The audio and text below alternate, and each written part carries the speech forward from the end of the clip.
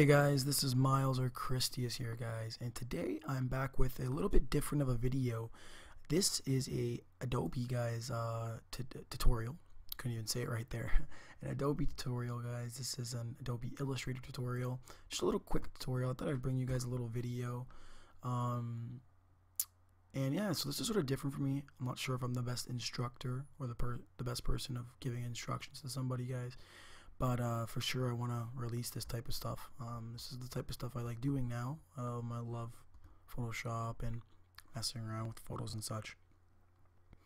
So our uh, our first thing here, guys. Now what I'm doing is I'm contr I'm making um, constructing a new profile picture or image, if you will, for uh, my YouTube.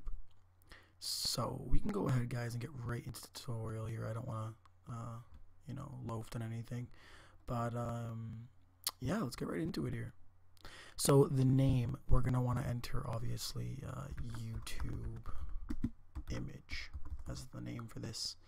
Um, we only need one artboard for this. We won't need any more.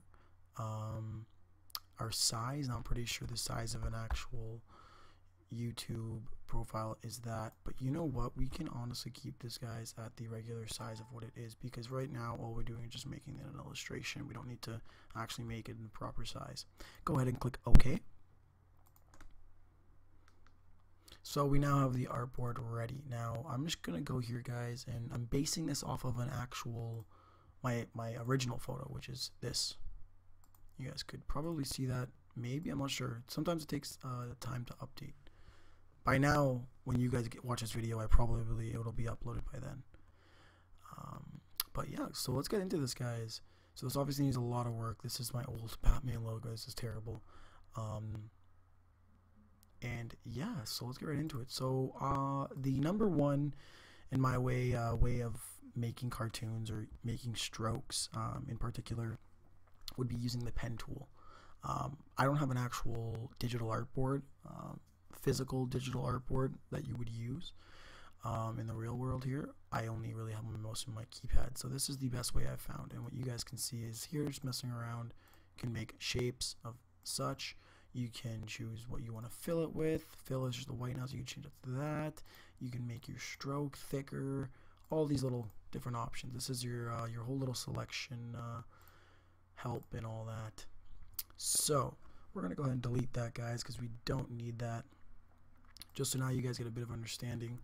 Um, the pen tool is always there. You will see it there. You don't want to use any of the other uh, subtools. We're just going to use the main pen tool. So let's go ahead, guys. This isn't really long. You know, obviously